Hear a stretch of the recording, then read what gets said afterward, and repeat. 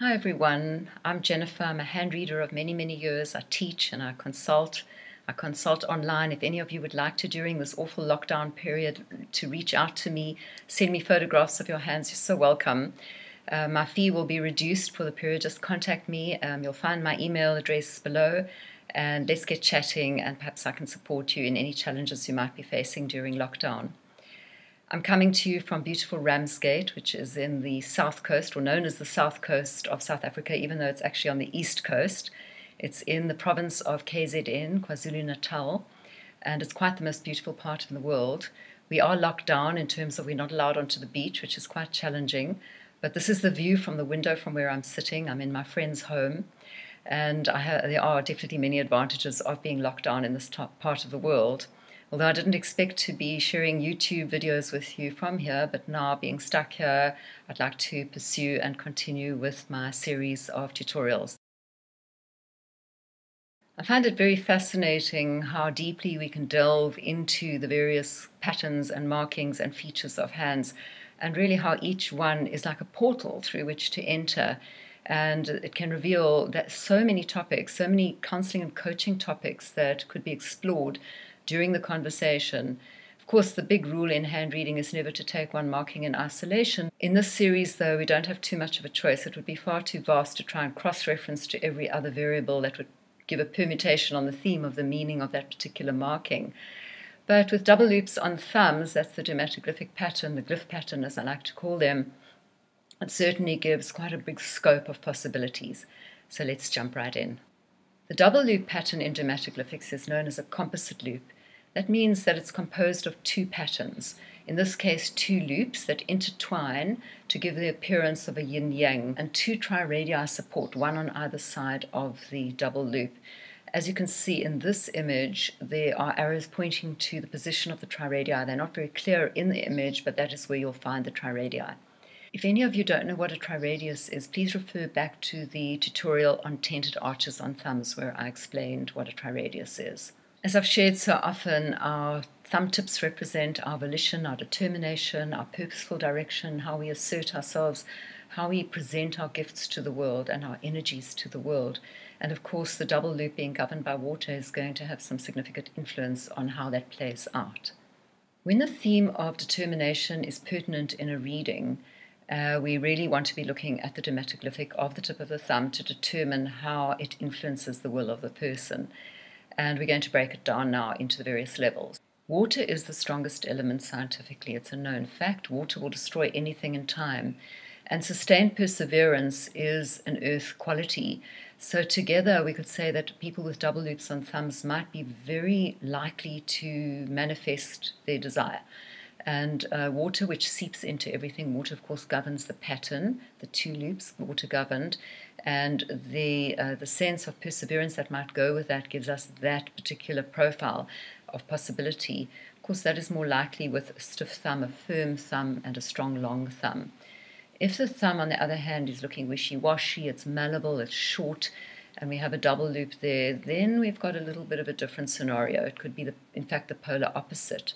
For this person, their willingness is not the problem, but the challenge for them would be around the sustainability, around harnessing and applying their will, and also around sticking with their decisions. Visually, the pattern looks like a wishy washy. It's as if those loops are shifting and swinging this way and that, like being in a washing machine of uncertainty, of vacillation, of ambivalence will I, won't I, can I, can't I, should I, shouldn't I, and that kind of uncertainty could definitely have some impact in the harnessing of the will for the person. That would be a big topic in that conversation. On the water level of how to interpret the double loop on a thumb, there's definitely an added emotional sensitivity.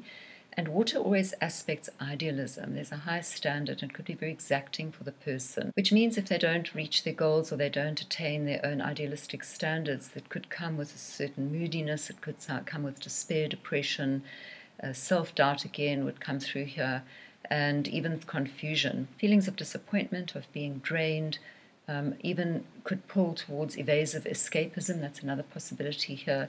Everything, of course, so significantly relates so much to the rest of the hand. I keep saying that, but it's clear. I hope you understand that the significance of that. We're just feeling around for possibilities in this presentation. So the double loop could show, on, especially on a weakish thumb, that the person has doubt in what they do and the way they action in the world. And it's as if everything possibly that they aspire to sort of descends into disaster. Think of a huge tidal wave crashing over, rushing back again, and then they aspire, aspire, aspire again, and then suddenly it descends into disaster again. And this could be a pattern that plays out in their lives.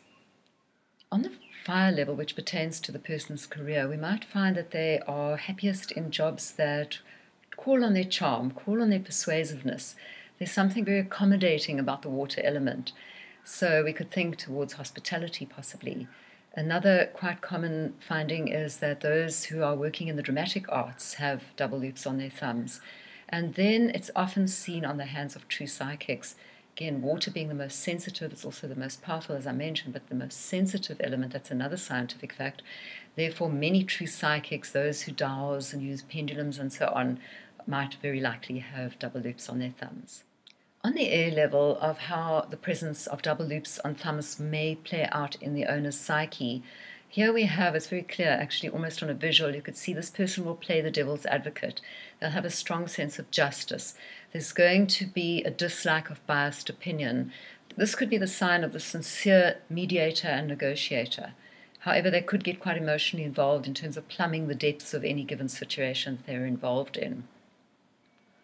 And law and human rights might be a strong call for people with double loops on thumbs and lastly, on the chi level, which pertains to the person's religious and spiritual life, it's fairly unlikely that they'll be hardcore, mainstream, religiously oriented. More likely that they'll be spiritual in their orientation, very open, go with the flow type attitudes to spirituality and philosophy. Just as we might choose a tattoo to inscribe on our body that's symbolic of something very personal, we could consider each dermatoglyphic to be like a type of a, tattoo that is really inscribed on us by existence. And the double loop, by nature of its yin yang appearance, holds in its core or holds in its symbology the suggestion of balance. And I would say that the person with double loops on their thumbs, from a spiritual perspective, are reminded that they have the capacity within them to find balance. Don't forget to contact me if you'd like a reading. As I said, my fee is dramatically reduced. Please just email me, jen at cheiro.coza. I'm here for you. I know a lot of you are suffering out there under the lockdown circumstances. And what better time, really, to have a little peep into your hands to see where to from here for you. And thanks for watching. I'll see you next week when the topic will be peacock's eyes on thumbs, that very rare and very exquisite dermatoglyphic marking. We very seldom see them on thumbs, and I'll be sharing on that next week. Bye for now.